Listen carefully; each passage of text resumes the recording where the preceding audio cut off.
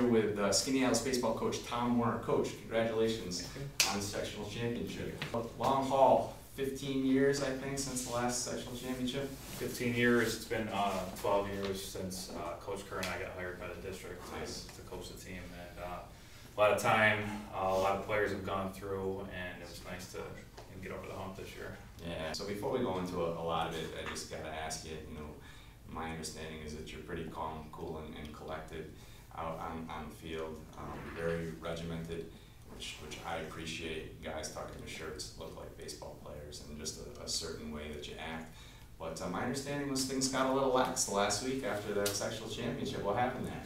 Yeah, well, I guess I, I became the cool coach three three weeks, uh, the last three weeks of the season. Uh, but you know, so we were we were practicing in March in the gym. There's a foot of snow on the ground, and you know they come in with uh, mullets, and uh, Luke's trying to play rap music, and you know all, all this is going on, and uh, you know I think Tommy or one of the, the guys said, "Hey, coach, if, if we win sectionals this year, can we do this? Can we do that?" And you know, in March, it's easy to say, "Yeah, that's Sure. fine. Yeah, if we win sectionals, we can do that." So day after we win sectionals, Tommy comes up and hey, coach, what about the barbecue at your house? Or are you gonna get a mullet? Or can we listen to rap music? And so I had to.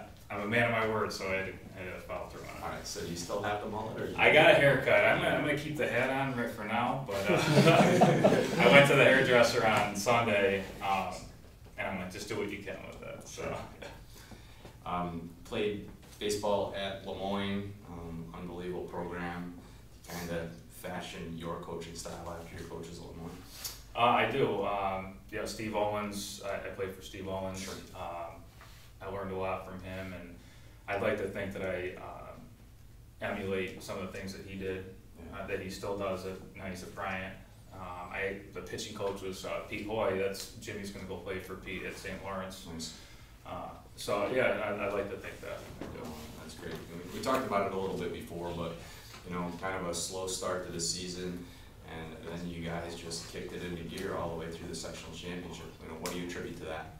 Well, it- I mean, a slow start, it's, it's tough. You know, you're playing games late March, early April. Um, I don't get these kids till, I think it was March fourth this year, so it's still early. Um, we lost a couple close games, uh, our, you know, our defense wasn't where it was supposed to be.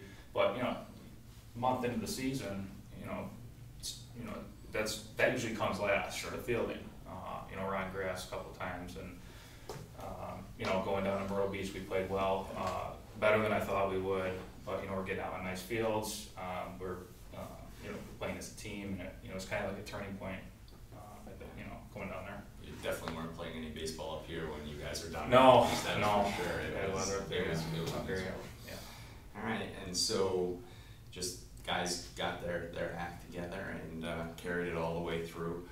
Um, for all of us, it was Hard Tack City through that, uh, that, that playoff run, one nothing, one nothing, fourteen innings. Um, I guess you guys did give us a, uh, a little breather with an eight-two win over Solvay, but, um, Even then, you know, so.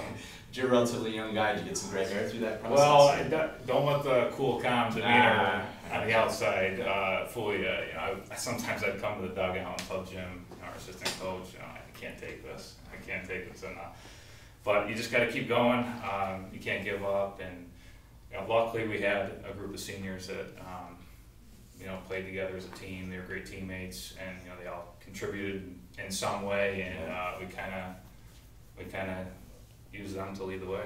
Yeah, and Nate Wellington, who's not here today, you know, a senior, real athletic kid going to Syracuse to play football. Bat him, he bats ninth in the order, but Yeah. he came up with some big plays at the end of the season. He did uh, defensively, and he ended up uh, leading the team in hitting. That's great.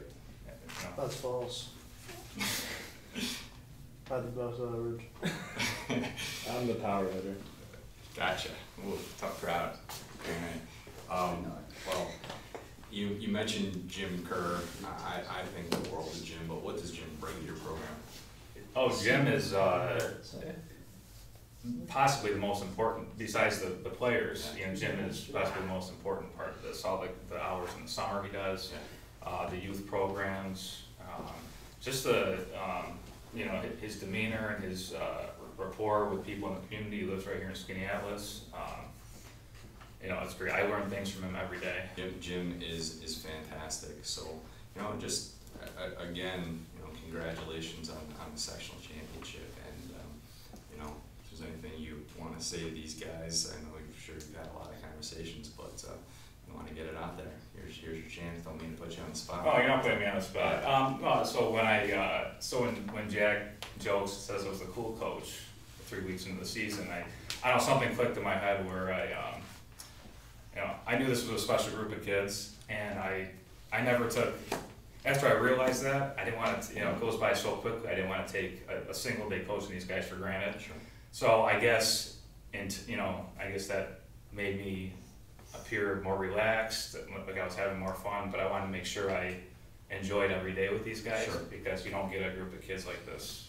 Uh, some coaches don't ever, so, Alright, yeah, well, congratulations, coach, Alright, and, thank uh, you. so now you set the bar high, and, uh, future, future teams are gonna have to live up to the, you know, the example that these guys have set, so, um, again, guys, thanks for coming in, and, alright, coach.